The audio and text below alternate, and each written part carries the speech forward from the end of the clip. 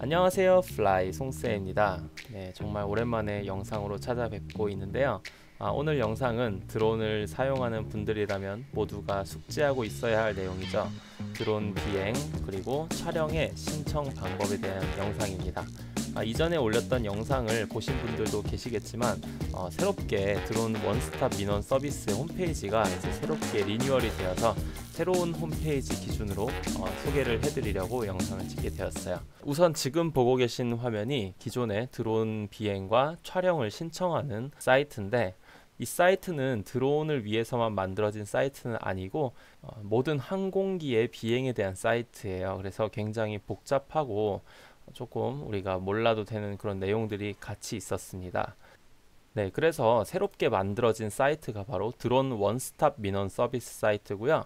어, 주소는 드론.원스톱.co.kr입니다. 이 배너만 보더라도 사람들이 이제 접근성이 좀 더 용이해진 느낌이 있죠. 그래서 서울지방항공청 국토부에서 뭐 운영하는 사이트인 것 같고요. 기존의 사이트랑은 이제 연동이 안 되기 때문에 기존 사이트에 가입이 되어 있으셔도 새롭게 회원 가입을 하셔야 됩니다. 회원 가입하시고 나서 이 사이트에 대해서 간단한 소개를 드리고 어, 떻게 비행과 촬영 신청을 하는지 설명을 드릴게요. 네, 우선 페이지를 보면 민원 시스템 안내, 뭐 신청 작성, 유형별 처리 이런 안내 탭이 있고요. 민원 신청, 장치 신고, 사업 등록, 비행 신청, 특별 비행 신청, 촬영 신청, 그리고 뭐 정보마당, my page 이런 것들이 있습니다. 네, 짚고 넘어가야 할 내용을 먼저 설명드릴게요. 민원 시스템 안내에서 유형별 처리 안내 가시면 음, 여기에 비행 승인과 촬영 신청이 있죠. 이 부분을 이제 짚어 드릴 건데 비행 승인 대상은 이렇습니다. 사업에 이용되는 행글라이더, 패러글라이더, 계류식 무인 비행 장치, 낙하산유 즉 사업에 사용되는 것 그리고 고도 150m 이상으로 비행할 경우 최대 이륙 중량 25kg를 초과하는 경우 자체 중량 12kg 초과하는 경우 네, 일반적으로 사용하는 드론들은 어, 2, 1, 3, 4는 해당이 되지 않죠.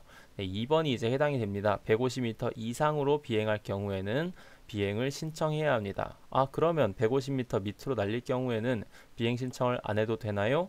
라고 이제 궁금증이 생기겠죠. 여기 보시면은 비행 금지 구역 P73, P65와 같은 금지 구역, 비행 제한 구역, 관제권, 군 관제권, 기타 지역 이런 지역들을 구별을 해놓고 여기 보시면 촬영 허가, 촬영 허가, 촬영 승인이 있는데요. 어, 제가 생각하기에 이게 지금 촬영이 아니라 비행 승, 비행 허가가 아닐까 좀 고민이 되는데 잘 모르겠어요. 아무튼 이런 금지 구역, 제한 구역, 관제권, 군 관제권에서는 비행 승인을 받으셔야 합니다. 근데 이제 기타 지역에서는 비행 승인은 안 받으셔도 되는 거죠. 그래서 내가 비행하려는 곳이 비행 금지 구역이다. 그러면 150m 밑으로 날리시더라도 비행 승인을 받으셔야 합니다. 관제권은 9.3m. 네, 이거 킬로미터죠. 9.3km고 아무래도 이 사이트가 지금 만들어진 지 얼마 안 돼서 이런 오탈자들도 있고 탭들이 좀 맞지 않는 게 있는 것 같아요. 비행 승인 절차인데 촬영 이런 내용 들어있는 거 보면은 네, 그래도 정리하면은 150m 미만으로 비행을 하더라도 금지 구역이나 뭐 관제권 이런 곳에서는 비행 승인을 신청을 하셔야 되고요. 기타 지역 어, 이런 군공역이나 금지구역 이런 게 아닌 깨끗한 지역들에서는 고도 150m 이하로 비행할 때는 비행 승인을 받지 않아도 됩니다. 네, 이해되셨죠? 네, 여기는 제가 짚어드리지 않는 부분도 있기 때문에 한 번씩 꼼꼼하게 읽어보시고 어, 비행하시는 게 좋을 것 같아요. 드론 날리는 분들은 처음에 한 번만 이런 법적인 내용을 파악해 두면 되기 때문에 이렇게 정말 꼼꼼하게 하나하나 다 읽어보시는 걸 추천드립니다. 그 다음에 사진 촬영 신청은요. 어, 여기는 네, 4번 항공 촬영 신청 및 허가를 보시면 됩니다. 어, 사진 촬영 신청 우리나라 전 지역이 대상 지역입니다. 네, 이것만 아시면 돼요. 항공 사진 촬영, 항공 영상 촬영은 어느 구역에서 찍더라도 어, 승인을 받아야 됩니다. 촬영 신청을 하셔야 돼요. 어, 다항의 항공 촬영 금지 구역을 지도에 표시할 수 없기 때문에 이 항공 촬영 금지 구역이 뭐냐면요. 국가 보안 시설이랑 뭐 비행장 이런 것들인데 이런 거를 지도에 표시할 수가 없어요. 왜냐면은 어, 우리 중요한 시설이 여기 있다는 걸 지도에 표시하면은 아무래도 어, 국가 기밀이 이제 유출될 수가 있겠죠. 그래서 이거를 표시할 수가 없습니다. 따라서 신청을 하신 다음에 이거를 관할 군부대에서 판단을 합니다. 이 시설은 주요 시설이 있다, 없다 이런 걸 판단을 하는 거예요. 그래서 신청은 꼭 하셔야 되는 겁니다. 드론 촬영 신청자는 촬영 4일 전, 네, 4일 전 기억해 주세요. 원스톱 민원 처리 서비스에서 신청을 합니다. 네, 이해되셨죠? 이 4일 전이라고 해서 그럼 나 화요일에 찍을 건데 4일 전 금요일, 토일, 월, 화. 네, 금요일에 올렸다. 근데 토요일, 일요일은 일을 하지 않겠죠. 토, 주말은 쉬는 겁니다. 그래서 이거는 근무일로 생각하셔서 넉넉하게 일주일 전 잡으시면 될 것 같아요. 기타 내용들은 어, 꼼꼼하게 한 번씩 읽어보시기 바랍니다. 네, 그 다음에 민원 신청하는 방법을 알려드릴게요. 어, 신청 방법은 비행과 항공 사진 촬영으로 알려드릴 거고 여기 특별 비행 승인이 새로 생겼어요. 특별 비행 승인은 뭐 밤에 야간 비행, 일몰 후 비행 이런 건데 굉장히 복잡합니다. 그래서 만약에 음, 나는 하겠다, 나는 밤에 비행하고 싶다 하시는 분들은 어, 열심히 신청해 보시고 어, 이렇게 열심히 첨부 서류 다 준비하셔서 어, 신청해 보시기 바랍니다. 저는 아직 계획이 없습니다. 비행 승인 신청 누르시고요. 여기 개인정보 입력하시면 됩니다. 전화번호, 생년월일, 주소 넣으시고 여기서 기간은 6개월을 초과할 수가 없습니다. 그래서 기간 넣으시고요. 비행 시작하려는 기간과 끝나려는 기간 넣으시면 되고 비행 목적 아, 각자 이제 원하는 목적을 넣으시면 되겠죠. 비행 방식 뭐 사실 이 비행 방식은 그냥 뭐 호버링 아니면 뭐 선의 비행 뭐 이런 식으로 썼는데 크게 중요하지 않는 것 같습니다. 제일 중요한 거는 비행 구역이에요. 이 비행 구역의 주소 좌표 반경 고도를 써야 되는데 비행 구역 설정 탭이 하나 생겼죠. 그래서 이거 눌러 보시면은 이 비행 구역 목록이 뜹니다. 기존에 있던 사이트에서는 이게 없었어요. 그래서 주소지를 찾아야 되는데 어, 예를 들어서 뭐 공원이나 공터 이런 데서 날리고 싶은데 거의 주소지가 안 뜨는 경우가 굉장히 많았거든요. 불편했는데 어, 새로 바뀐 시스템에서는 이렇게 클릭을 하실 수가 있어요. 어, 예를 들어서 뭐 세종시에 네 나는 호수공원에서 이렇게 날리겠다 그러면은 이 포인트를 이렇게 클릭하면은 주소지가 뜹니다. 그래서 굉장히 편리해졌죠. 원래는 이 주소지를 각자 막 네이버 지도 이런 데 찾아서 입력을 해야 되는데 이게 바뀌었어요. 그래서 반경 뭐 100m에서 300m 이런 식으로 가시거리 내에서 비행을 하셔야 되기 때문에 너무 반경이 넓으면 안 되겠죠. 고도도 입력을 하면은 피트로 변환이 됩니다. 이것도 기존 사이트에서는 변환이 안 돼가지고 저 네이버에서 맨날 고도 피트 변환을 미터 피트 변환을 했었는데 자동으로 다 뜹니다. 그다음에 어, 담당자 이렇게 배정이 되는 거죠. 아니, 나는 그러면 여러 개를 하고 싶다 그러시면 이게 추가 누르시면 돼요. 추가 누르시면 쭉쭉쭉 입력이 됩니다. 그래서 나 여기서 날릴 거다 넣으시고 추가 뭐 추가 나는 또 여기서 날릴 거다 누르시고 넣으시고 추가 이런 식으로 넣으시면 돼요. 근데 주의하실 점은 찍는 장소가 이제 실제 이륙 지점, 비행 지점이랑 일치해야 됩니다. 그래서 정확하게 찍으시고요. 아, 이런 경우는 안 돼요. 이 지도에서는 지금 공역을 다 보여줘요. 여기 빨간색은 금지 구역이고 여기는 뭐 관제권 이런 식으로 지금 관제권 맞죠? 나와 있습니다. 그런데 지금 여기는 세종시잖아요. 세종시는 어, 담당하는 공항이 이제 뭐 청주공항 뭐 이런 식으로 있어요. 네. 여기 누르면은 여기는 공주시죠. 네, 이렇게 되면은 담당 기관이 두 군데로 배정이 되는데 이 경우에는 분리해서 신청을 그러니까 두 건으로 신청을 하셔야 돼요. 그래서 한 번 신청하실 때는 같은 지역만 묶어서 신청하시는 게 좋습니다. 왜냐면 어차피 반려당하고 그러면 다시 수정하고 이러는데 시간이 걸리잖아요. 그래서 이렇게 세종시 세종시 세종시 해서 등록 이런 식으로 하면은 쭉쭉쭉 해서 세 군데가 들어갑니다.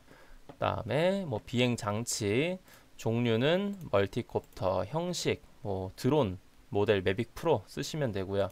비영리 영리 체크하시고 비연구용 연구용 체크하시고 제작자 전 DJI 썼고요.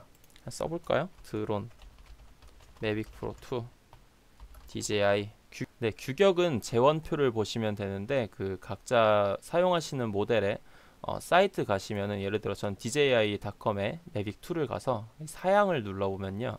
예, 규격이 뜹니다. 이거는 나중에 재원표를 첨부해야 되기 때문에 신청하실 드론의 재원표를 미리 좀 캡처해 주시는 걸 추천드리고 규격은 요거 쓰시면 됩니다. 길이 그리고 그람수 무게 이렇게 길이와 무게 두 개 넣으시면 됩니다.